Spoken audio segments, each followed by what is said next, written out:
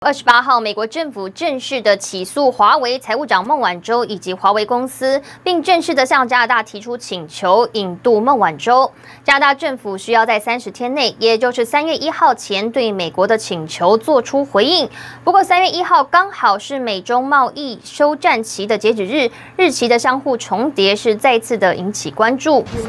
而对于孟晚舟案件，加拿大总理杜鲁道就重申，加拿大是法治国家，会依法办事。并继续的履行国际义务及相关条约。目前，加拿大已经将孟晚舟的引渡听证会是推迟到三月六号，届时孟晚舟将出庭，将听取司法部长关于引渡案的决定。